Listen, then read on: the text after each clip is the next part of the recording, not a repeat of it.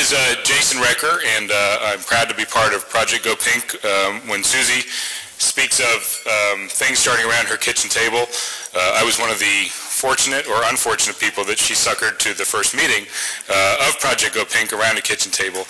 And um, the reason that I joined Project GOPink, uh, my life took an unexpected turn on a uh, refuel stop of Air Force One in Alaska heading to the Beijing Olympics and getting off the plane, um, President and Mrs. Bush were arguing back and forth on how to properly pronounce the governor of Alaska's name, whether it was Palin or Palin.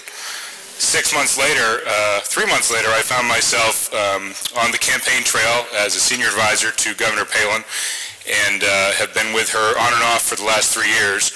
And um, Terry Christoph, part of our advisory board, said, I, have never seen this movie, The Undefeated, so I'm looking forward to seeing it. And she said, you've lived this movie.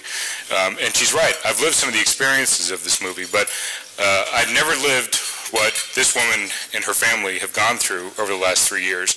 And to go from working for from a male politician to a female politician, I thought would be very easy and seamless. I can tell you, and you all know, it is the exact opposite. I've never seen the scrutiny that uh, she has gone through and survived over the last three years and uh, continues to and fights for what she believes in even today as you saw her op-ed in the Wall Street Journal about crony capitalism which somehow has now become the buzzword of the 2012 campaign. So uh, I'd like to introduce Steve Bannon. We're honored that he's joined us. He's put together this film and I for one am really excited to watch it. So thank you very much Steve for being here.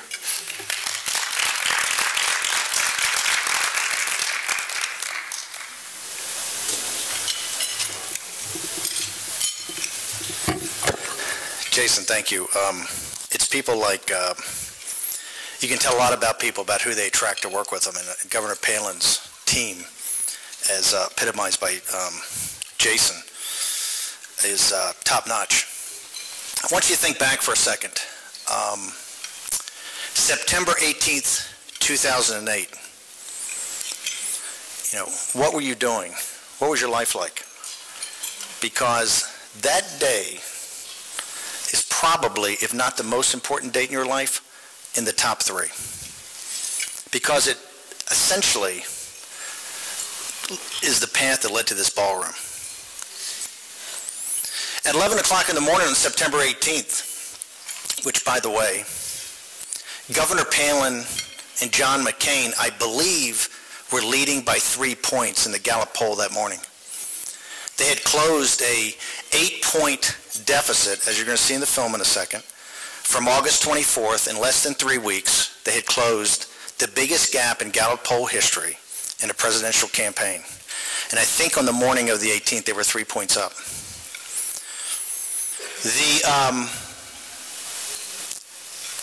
Republican-appointed chairman of the Federal Reserve, Ben Bernanke, and the um, Republican Secretary of the Treasury, Hank Paulson, went to see the sitting Republican President George Bush and told him that um, because of the way that the Lehman Brothers bankruptcy had been handled on Monday with no preparation and Lehman had just gone into bankruptcy and free fall, everybody now realized that Lehman Brothers was at the heart of the commercial paper market and the money market accounts that you guys all keep your money in. Um, and that the world economy, the world financial system, was melting down. President Bush had this briefing and sent those two guys up to Capitol Hill where they met with the senior leadership of both parties. We now know this because this meeting was very secret. Um, the memoirs of, of Hank Paulson and, and, and, several participants. Uh, C-SPAN had a had a um, interview with Congressman Kanjorski, and, and, what they were told is that the American financial system was going to melt down in 48 hours. That the world financial system was going to melt down by the following Monday or Tuesday. And that global unrest would start in about two or three weeks. And that the Secretary of Treasury had come up because he was asking for one trillion dollars in cash and he needed it immediately. Now, the, the 20th century is the, um, the most, it's the bloodiest century in mankind's history. Almost 200 million people died in, in wars. or famines that related to wars, or because of disease that was related to war. It's by far the most barbaric century in man's history. And the United States had some tremendous enemies. Kaiser Wilhelm, um, the military junta in, in Japan, uh, the Nazis, Mussolini and the fascists, Lenin, Stalin, the communist. Uh, in the 21st century, we started off by having uh, Osama bin Laden. We never had an adversary or an enemy that could conceive of destroying our financial system like we did ourselves. Now, you in this room, and I think there's a hundred and some of you guys here for the for the uh, for the um, conference, are among the most engaged people in our country. And do you have an explanation of what happened on September 18th? Do you have a full understanding of what went on? You know, since that time, we've started to understand the, the dilemma our country's in and really the world's in. Um, we hit $15 trillion in debt last night, I think around 9 or 10 o'clock. That, that's, that's the tip, that's the tippy tip, as a kid would say of the iceberg. Dr. Kotlikoff of Boston University uh, believes, and he's a very, Harvard PhD, runs Boston University, one of the most respected economists in the country. He actually says that our, our, our debt, our true debt, on a present value basis, the way you're taught to do it in business school, is over 200 trillion, $200 trillion. Even conservative estimates have it at over $100 trillion. Right? We, we have $2 trillion of, of unfunded student loan obligations. We have $3 trillion in Fannie, of, of, we have $3 trillion of, of zombie mortgages we won't face up to that are underwater.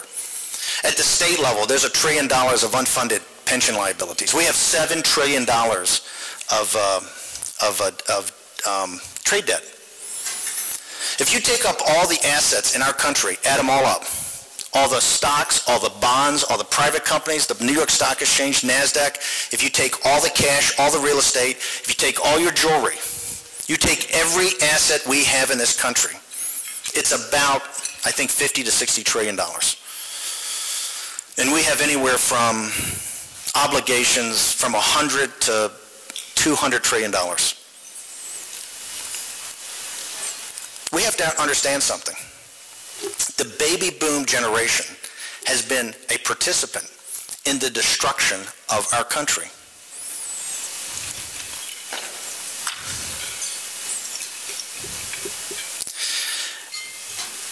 The, um, the solution or the set of solutions that have to be embraced and have to be um, implemented are, are, are not pleasant. All the easy choices are 10 and 15 and 20 years in back of us. All, all, all the non-painful range of alternatives we've left years ago. Every choice we have in front of us is a tough choice. And all you're being fed, and, and you are the most engaged of, a, of the population, is complete and total happy talk. The big budget debate we had last summer, when they talk about cutting the budget, by the way, federal budget's $3.75 trillion. The deal that they put together, which was to basically agree to budgets for two years, has federal spending in the next two years of $7.5 trillion. That's locked in. The budget cuts they were talking about that they agreed to were $61 billion, and they will never make those. When, they, when you hear all these budget debate uh, talks, it's not about cutting anything. It's about a theoretical cut to a rate of growth in a base in an out year that's never going to happen. You do understand that, right? It's not going to happen. It's the reason the Tea Party was created. It's the reason I've made these films. And the reason I've taken a Friday night, not just to show it, but to come and talk to you, because here's the scary, really scary part, is that you are the salvation of this country. And if you guys blink, and if you guys continue to accept the happy talk and not hold people accountable, the country won't go away. We'll still be here. It'll be very different. This is the fourth great crisis in American history. We've had the Revolution, we had the Civil War, we had the Great Depression and World War II. These happen in about 80 or 100 year cycles.